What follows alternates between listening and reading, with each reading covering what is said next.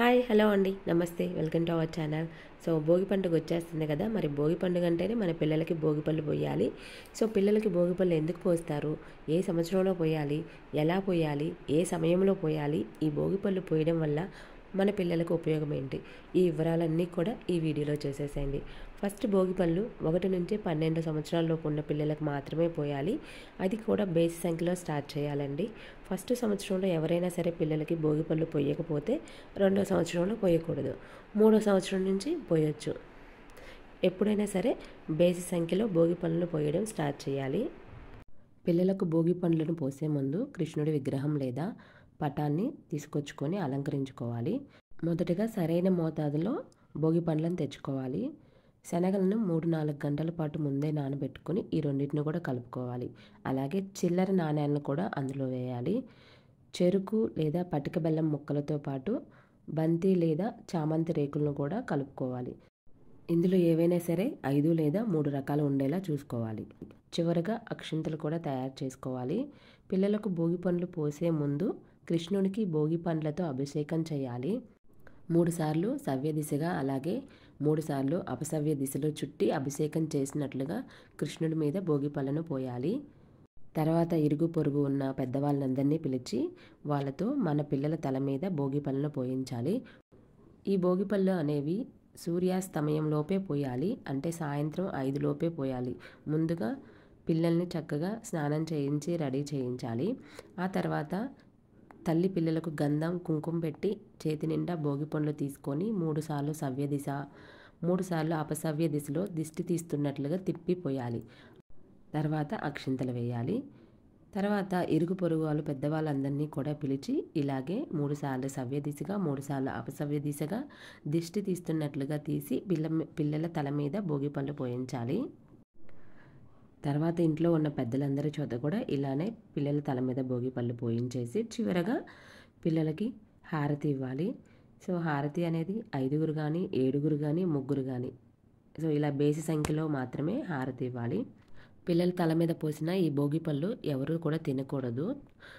పారే నీళ్ళల్లో కానీ లేదంటే ఎవరు తొక్కని ప్లేస్లో కానీ ఎక్కడైనా సరే వేయాలి. సో ఇవి మనం దిష్టి తీస్తాం కాబట్టి వీటిని ఎవరు తినకూడదు. ఇప్పుడు భోగి పళ్ళ కథ తెలుసుకుందాము. భోగి పళ్ళను బద్రీఫలం అని కూడా పిలుస్తారు. శివుడిని ప్రసన్నం చేసుకునేందుకు నారాయణుడు బద్రీవనంలో ఘోర తపస్సు చేస్తాడు.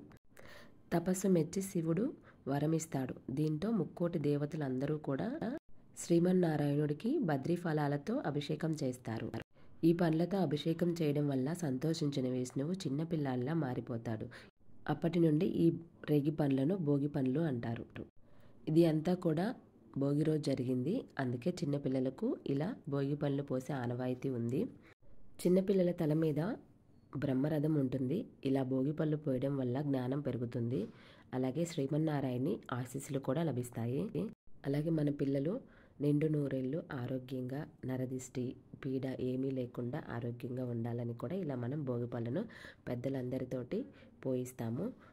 నాకు తెలిసిన భోగి పళ్ళ కథ అయితే మీతో షేర్ చేసుకున్నానండి. సో మా పిల్లలకైతే మొదటి సంవత్సరంలో ఇలా భోగి పళ్ళను పెద్దలందరి చేత పోయించాను అండ్ ఇప్పుడు వచ్చే భోగి పండగకి రెండవ సంవత్సరం అనమాట సో ఈ సంవత్సరం కూడా ఇలాగే పెద్దలందరినీ పిలిచి మా పిల్లలకి ఇలా భోగి పళ్ళు అయితే పోయిద్దాం అనుకుంటున్నాను. ముందు? ముందు ఏమైనా బొట్టు పెట్టుకో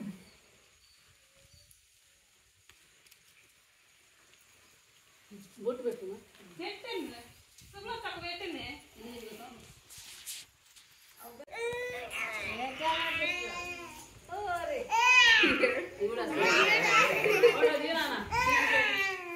చూడు ఇది ఉందా? ఇది తింటామంటావా? ఇది తినేయనా? బాగా నిలబడ్డప్పుడు బాగా పుట్టు అమ్మ రాలేదరా అమ్మ పొయ్యి కాడుంది. పొయ్యి కాడు నువ్వు అమ్మ నేను పొయ్యి కాడ పని చేసుకుంటుంటే నేను సరేలే నువ్వు ఓమంటే నువ్వు బాగా పొయ్యి కాడ పని అదే పసుపు రాసుకో ఆ, ఇదిగో తింటున్నావు పక్కన. మళ్ళీ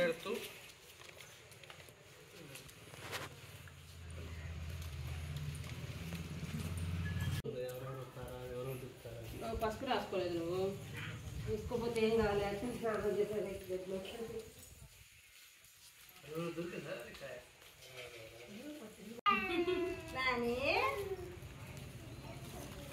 అయిపోయిందా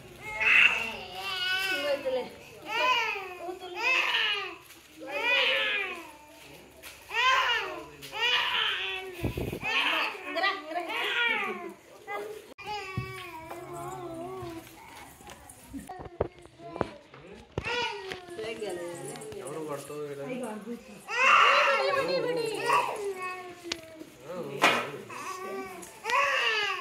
అయిపోయింది పోయిడు పోయింది అయిపోయింది నేను వరకు వచ్చా. ఇదిగో బొమ్మ.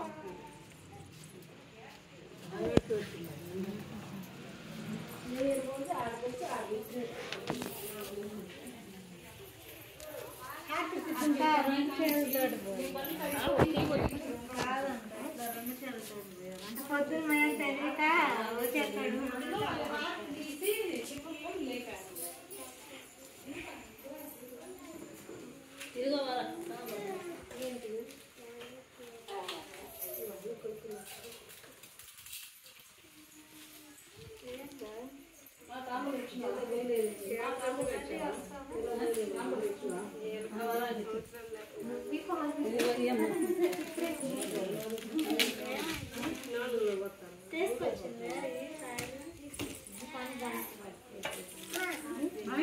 అయిపోయింది.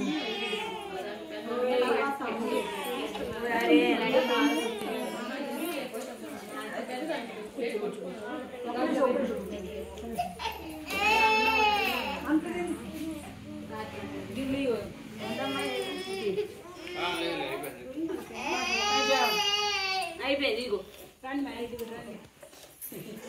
ఇదిగో కాయ తీసుకో, కాయ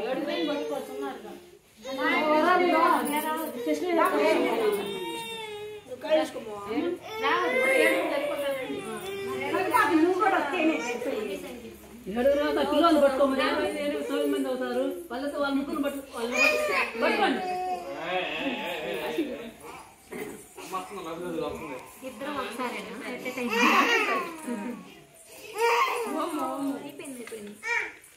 పట్టుకోనా పట్టుకోండి ఆ, అది.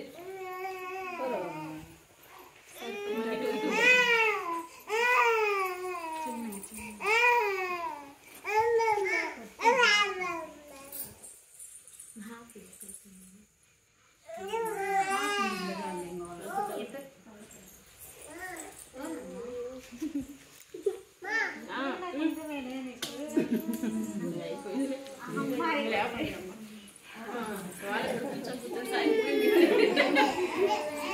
వాళ్ళు లేచినారు లేచి అటు మిద్ది మీద పోయి